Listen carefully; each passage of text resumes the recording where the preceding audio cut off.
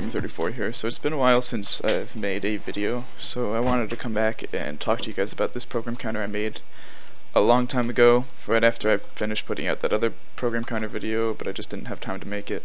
So this is cool because I worked with some other people. I worked with uh, these guys here, Lord Capo and Coyarno, to help design this. So it is a 3 by, let's read it here. It's 12 by 3 uh, by 2 so it's 36 uh, blocks per layer. Each layer is 2 so uh, we have it's uh, is that 72 72 blocks per bit. So but this thing is special or why this thing is special is it's able to count up and down whether no matter where you are. So the way this works is this is actually an XNOR on the back of this hooked up into our clock line. And the XNOR, it, one of its inputs is the output of the PC. And the as you can see, the output goes through, just like this, because here's the output line. The output goes through one, into one of the XORs, and the other input is the up or down line, right here, which goes in to this, and outputs. And so this is actually how you would branch if you wanted to you would press this button to branch and it would do all your branching. So let's, uh, and this, this here is the clock line. So if I were to go ahead and leave this in the up position and show you that we're at 9 right now, right there, and then I were to clock it right here off that, now we're at 10. I'll clock it one more time, we're at 11. Now it should count to 10. Now it should count to 9, 8, 7, 6, okay. Now what if we want to branch? Well, we can give it, we'll say branch to 15, and we can do this. That'll branch. The one thing, however, that you cannot do is if you have that down and you try to branch to an address, it will not work. So you need to make sure that this is in the up position for that to work. Just like that. So that is one thing to keep note on this. So this is a program counter that can branch and increment and decrement. And so you could ask yourself why is that useful? Well, it's cool for trying to manipulate uh, vectors, or not not vectors, but like pixels on a screen. Like uh, you want to increment or decrement where you are currently at at a placeholder, like, and then you can have an x and a y. So you can increment or decrement y and x, and then uh, change your position on the screen relatively easily. Um, so this is what I was using previously to do that. I was using a, it's called a uh, carry look. What do they call it? It's a yeah, it's a carry look ahead, but it's a form of carry look ahead that's optimized for Minecraft. Though it's cut CCA, uh, cut carry edition or something like that, cancel carry edition, um, and it's a Minecraft optimized opt uh, algorithm.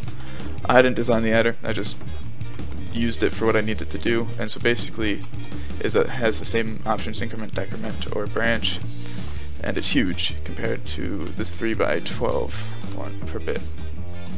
And so uh, I'm going to actually go ahead and show you guys how to design this. Alright guys, so the first thing to do is we're going to need to build the core of this. So the core consists of the branch input, which goes through like that. Oh no, my bad, it goes like this. We need to put that into that.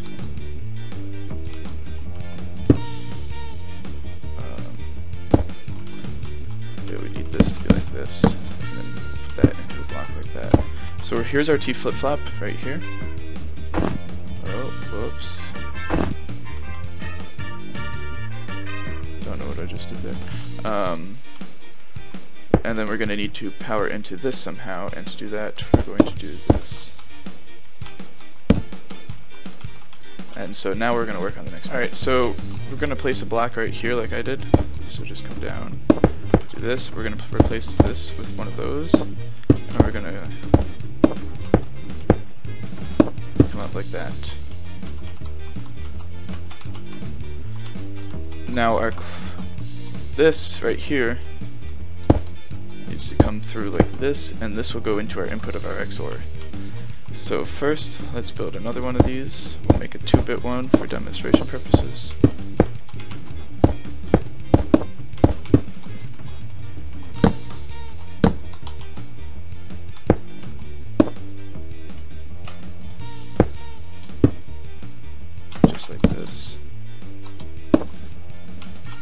And then we can see here that that needs to be blocked off just like that.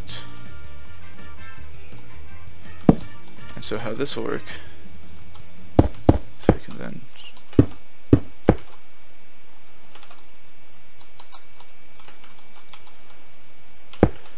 run wires like this.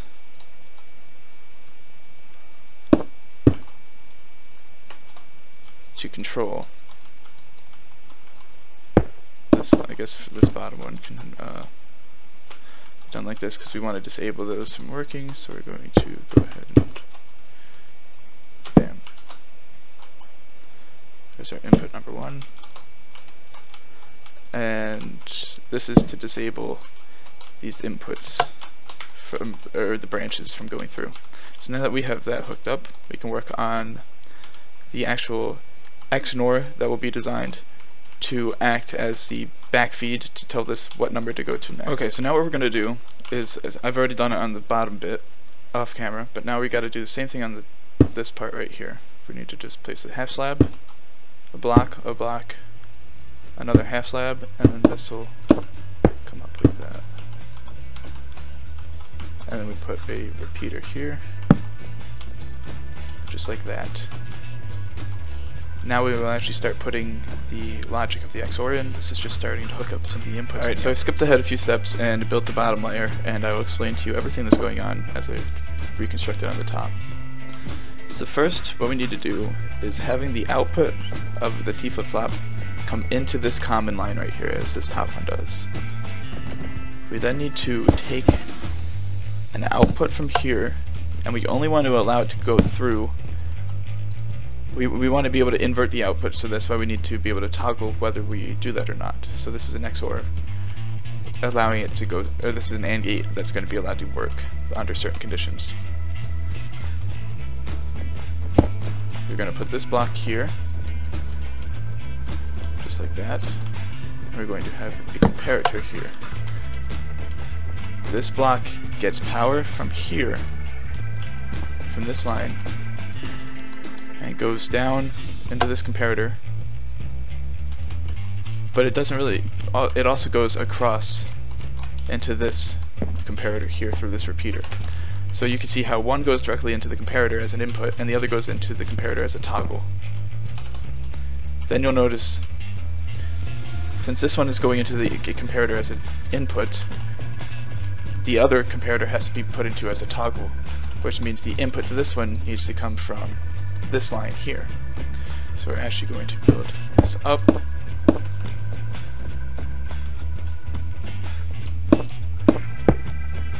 Just like this place this here.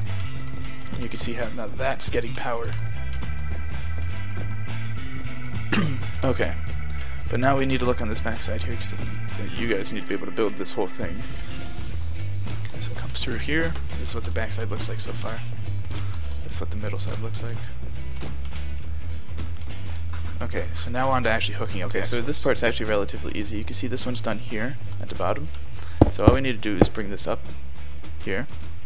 And now the output of, uh, how do I mark it? I'll, I'll use uh,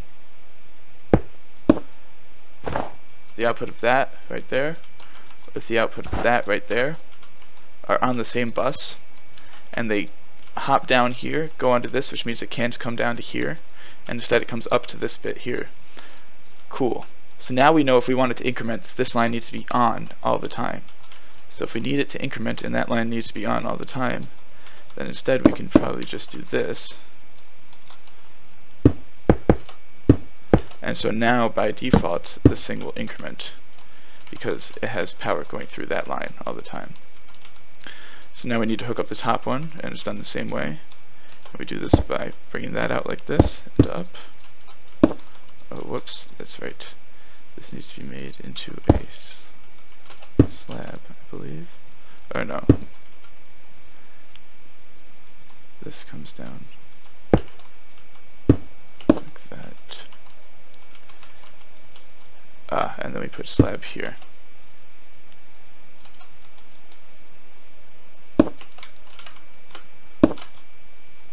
Just like that.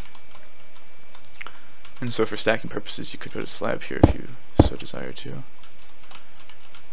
And so now we need a clock powering into this line here, and that'll be our first bit. And so this is our toggle line, or for our up and down.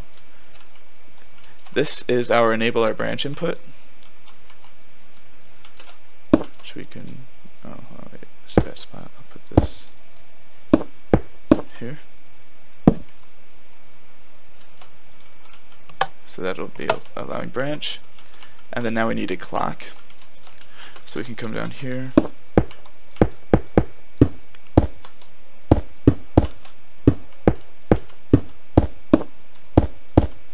And do one of these guys. Boom. Like this. Just like that. Just like that. Whoops. And uh, doesn't really matter what you put on that there. Okay, anyway, now for demonstration purposes, um, where I have, uh, I guess we'll use pistons. Alright, so we have 0, 0, 1, uh, 0, 1. Oh. Something's not right here.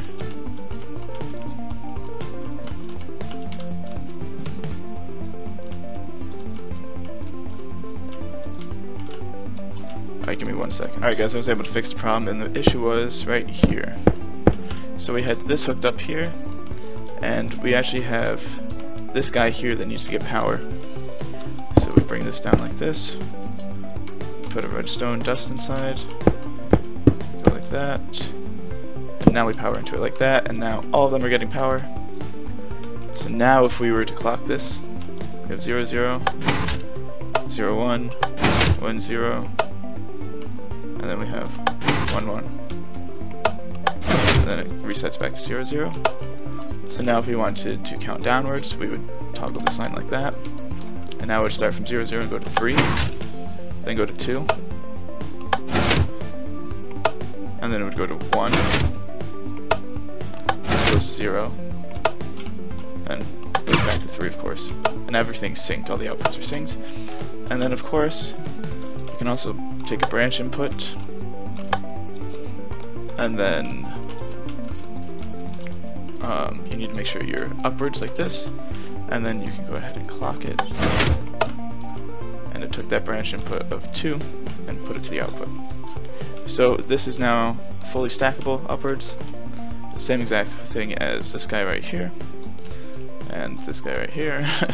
so uh, if you like this video, if you found this useful, uh, please subscribe. Uh, I'm try to keep uploading as much as I can because, you know, I'm a busy college student. Alright, take it easy guys.